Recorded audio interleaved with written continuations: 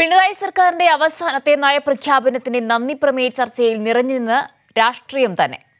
U D എഫിന്റെ welfare ബന്ധവും കോൺഗ്രസിന്റെ നിലപാട് ഇല്ലായ്മയും ഭരണപക്ഷം ആയുധമാക്കിയപ്പോൾ സർക്കാരിനെതിരെ പുതിയ അഴിമതി ആരോപണവുമായി പ്രതിപക്ഷ നേതാവ് രംഗത്തെത്തി. പിണറായി സർക്കാരിന്റെ അവസാനത്തെ നയപ്രഖ്യാപന പ്രസംഗത്തിന്റെ നന്ദി പ്രമേയ ചർച്ചയിൽ പ്രതിപക്ഷത്തെ അക്ഷരാർത്ഥത്തിൽ രാഷ്ട്രീയമായി ഭരണപക്ഷം കടന്നാക്രമിച്ചു. ലീഗിനെക്കുറിച്ച് പറഞ്ഞാൽ മുസ്ലിങ്ങൾക്കെതിരെ പറയുന്നു എന്നാണ് പ്രചരണമെന്ന് മുഖ്യമന്ത്രി പരിഹസിച്ചു.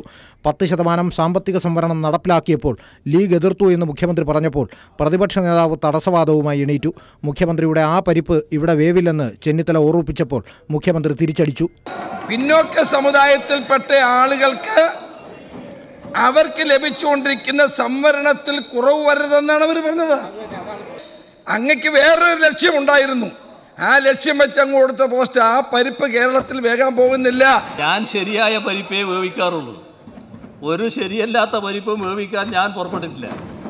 അത് മതനിരപേക്ഷതയിൽ ഊന്നിയ അടുക്കളയിലാണ് എന്റെ പരിപ്പെല്ലാം വന്നിട്ടുള്ളത് മുഖ്യമന്ത്രിയെ ഭാസ്കര പട്ടേലരെന്നും മന്ത്രിമാരെ തുമ്മിയെന്നും ചെന്നിത്തല ആക്ഷേപിച്ചപ്പോൾ ആ ഉപമ ചേരുന്നത് കോൺഗ്രസിനാണെന്ന് മുഖ്യമന്ത്രി പറഞ്ഞു. കഴിഞ്ഞ സർക്കാരിന്റെ കാലം കുംഭകോണങ്ങളുടെ കുംഭമേളയാണെന്ന് മുഖ്യമന്ത്രി പരിഹസിച്ചു. ഇതിനിടയിൽ മദ്യക്കമ്പനികൾക്ക് വേണ്ടി എക്സൈസ് വകുപ്പ് ഏഴ് ശതമാനം തുക വർദ്ധിപ്പിച്ചതിൽ നൂറ് കോടി രൂപയുടെ അഴിമതി നടന്നെന്ന് പ്രതിപക്ഷ നേതാവ് ആരോപണം ഉന്നയിച്ചു.